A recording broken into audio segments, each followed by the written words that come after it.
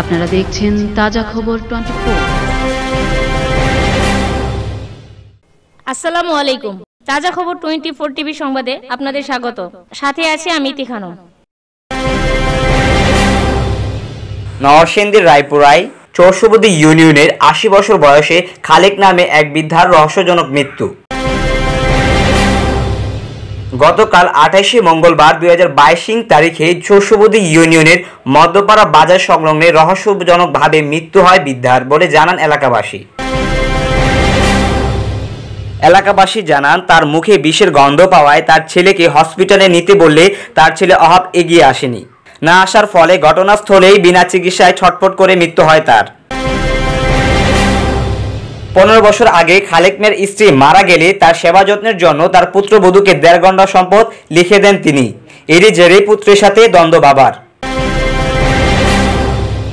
এ ব্যাপারে দুই মাস আগে এলাকার গণ্যমান্য ব্যক্তিগণ সালিশ দরবারে তার ছেলে অহাবকে তার ভরণ পোষণের দায়িত্ব নিতে বলে তার ছেলে অহাব তার ভরণ পোষণের দায়িত্ব নিতে অসম্মতি জানান। তারপর থেকে অন্যের দয়ায় মানবে তার জীবনযাপন করছিলেন এই বৃদ্ধা। তার ছেলে বাঙালি ব্যবসা করে ভালো অর্থ উপার্জন করলেও কোনো সাহায্য সহযোগিতা করছিল না তার বাবাকে। রায়পুরা থানার উপপরিদর্শক নাসির উদ্দিন তাজা খবর টোয়েন্টি ফোর টিভিকে জানা শুরু তাহল প্রস্তুত করে ময়নাতদন্তের জন্য নরসিংদী সদর হাসপাতালে মর্গে প্রেরণ করা হয়েছে। এখানে দীর্ঘ দুই মাস আগে আমার যে চস্যবুদ্ধি সুনামধন্য দরবারি যারা আছে এই বিষয়টা নিয়ে অহব আব্দুল অহব এবং খালেক, আব্দুল খালেকের বিষয়টা নিয়ে আমরা বসি। বসার পরে আমরা সারে এলাকার মনে বৈশা দেখলাম, খালেক মিয়া বলতেছে, খালেক মিয়ার বয়সটা কমসে কম আশি, তারে বাদ দিব না ছেলে, বাদ কাবুর কিছু দেয় না, তার ফ্যানটা বন্ধ করে দিছে, তার লাইটটা বন্ধ করে দেওয়া হয়েছে। আমরা তাকে বললাম, তোমার বাপেরে খাওয়াও। উনি বলল যে, আমার বউরে উনি সম্পদ দেলাইছে, আমি আমার বাপেরে, আমি কোনো দিন আপনারা যদি ফাঁসিটো টাঙ্গান, তাইলে আমরা তারে আমি তারে কমসে কম ভাত খাওয়াইতাম না। এই হিসাবে আমরা দরবারিরা কিন্তু, সারা কিন্তু আমরা আমরা যতটুকু দশজনের কাজ, আমরা কিন্তু চেষ্টা করছি যে তারে বুঝায় ভাত টাত খাওয়ার জন্য। এরপরও আমরা চেষ্টা কাজে আসে নাই, সে বলছে ভাত খাওয়াইতো না খাওয়াই নাই। কিন্তু তার উপরে যে নির্যাতন করছে তারে কোনো খাবার দেয় নাই, চিকিৎসা ছাড়া ওই উনি মারা গেছে।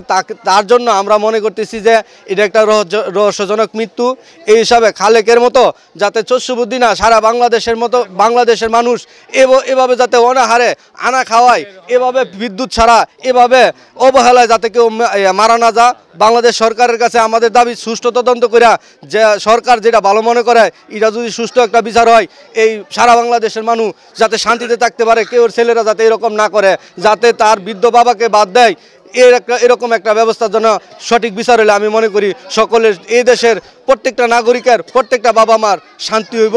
এ এতটুকু আমার বাংলাদেশ সরকারের কাছে এবং মাননীয় প্রধানমন্ত্রীর কাছে অস্বাভাবিক মৃত্যুর জন্য বৃদ্ধ বাবা মাকে আমরা সবাই যাতে সেবা যত্ন করি, যাতে এরকম নির্যাতিত না হয়, খাবার বন্ধ করে না দেওয়া হয়। হ্যাঁ অনাহারে মারা গেছে, আমরা জানি এখানে সে এই জায়গায় সে জায়গায় ঘুরছে, কোনো লোক তাদেরকে যে যতটুকু পারে সহযোগিতা করছে, কিন্তু ওনার ছেলে রাজি হয় নাই। লাশে একটাই সিদ্ধান্ত ওনার, ফাঁসি হইল মোটামুটি, আমার বাবাকে আমি বাদ দিল না।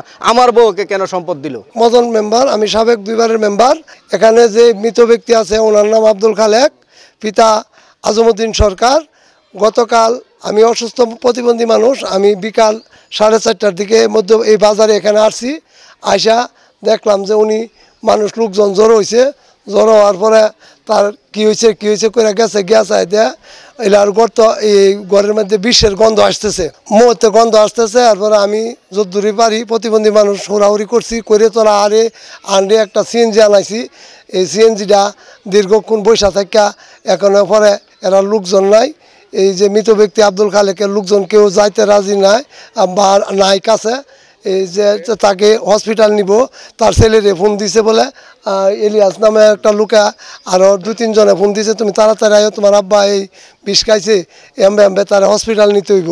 অনে তারে হসপিটাল নিয়েছে না, প্রায় বিষ খাওয়ার পরে আমি এখানে প্রায় সাড়ে চারটা বাজে আইসা উপস্থিত হয়েছি এই তারে হসপিটালে নেওয়া হয় নাই, বা মহিলার একটা ব্যবস্থা করে হসপিটাল নেও, যদি টাকা পয়সার কোনো সমস্যা না হইতে পারে, তো আমরা সমাজের মানুষ যারা আছি, আমরা তারা একটু সহযোগিতা করব সবাই। তবে এরপরে শেষ পর্যন্ত হসপিটাল নিতে নিতে পারি নাই। কিছুক্ষণ থাকার পরে সে মারা গেছে। গত দীর্ঘ দুই মাস আগে তার বাপ পুতকে নিয়ে এনে আমরা মধ্যপাড়া বাজারও স্থানীয় লোকজনে। মেম্বার মেম্বারশিপ সহ পুরান চার পাঁচজন মেম্বার আছেন এবং এলাকার গণ্যমান্য সর্দার বিজ্ঞ ব্যক্তিগণ আছেন। তারা একটা মিছিল করে কইছে, তার ছেলেটার নাম আব্দুল ওহাব ওহাব রে, তোর বাপে বুড়া মানুষ, তারে তুই খাওয়া, তারে তুই যে পারস দূর খাওয়া। তো হ্যাঁ দরবারে প্রমাণ করছে। এ, দরবারে কইছে যে আমার ভাসি হইল, আমি বাইরে খাওয়াইতাম না।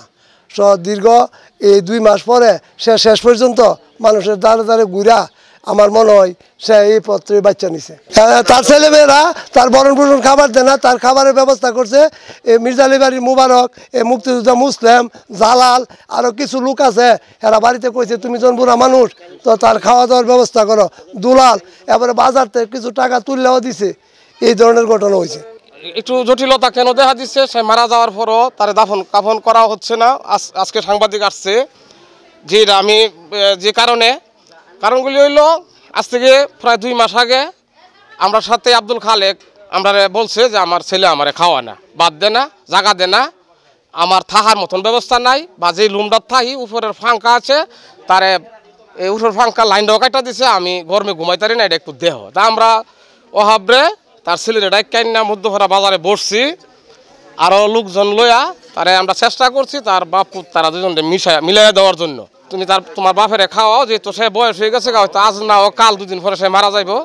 তুমি পুত হিসাবে কিন্তু এটা তোমার করা উচিত না। সে এখানে বলছে সবার সামনে যে, আমার ফাঁসি দিল, আমার বাহারে আমি ভাত খাওয়াইতাম না। আমরা এতটা জানি না, তবে এতটুকু জানি তার মাত্র দুই ঘণ্টা সম্পত্তি আছে, এর মধ্যে নাকি তার বোন নামে, অভাবের বোন নামে, তার ছেলের বোন নামে নাকি তার কিছু কত জানি, দেড় ঘণ্টা নাকি, এক ঘণ্টা সম্পত্তি সে লেখা দিয়া দিচ্ছে ছেলের বোন নামে। তো এটা আমরা জিজ্ঞাসি যে আপনি ছেলের বোন নামে কেন দিলেন? তো সে বলছে, আমার ছেলের বোন নামে আমার দিতে হয়, কারণ ছেলের বউ সে আমার লালন পালন করার চেষ্টা করে, করার লাগে। তো আজকা করে না কেন? সে বলছে, আজকা হেল লাগে আমার বউ করে না। এই কথাটি সে বলছে।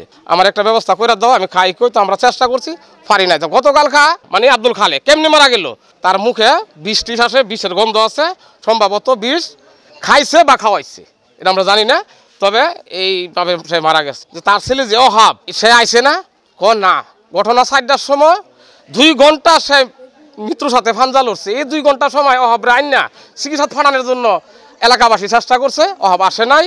আমি রাত্রের এগারোটা পর্যন্ত, গত রাত্রে বাজারও ছিলাম, এগারোটা পর্যন্ত তার ছেলে তার বাপের লাশ দেখতে আসে নাই। তার মৃত্যুটা রহস্যজনক বলে এলাকাবাসী মনে করছে। এই হিসাবে তাকে এখন পর্যন্ত দাফন কাফন করা হয় নাই। এর মধ্যে বাজারে দরবার হয়েছে, দরবারের মধ্যে হ্যাঁ ডাইরেক্ট কইছে যে, আমার গলা যদি ফাঁসিও দেয় খালে করে খাওয়াইতাম না। আমি খালে করে খাওয়াইতাম না। এরপরে হের বউ আছিল ফুতের বউ আছে, নাতি আছে, ভতি আছে, সবাই আছে।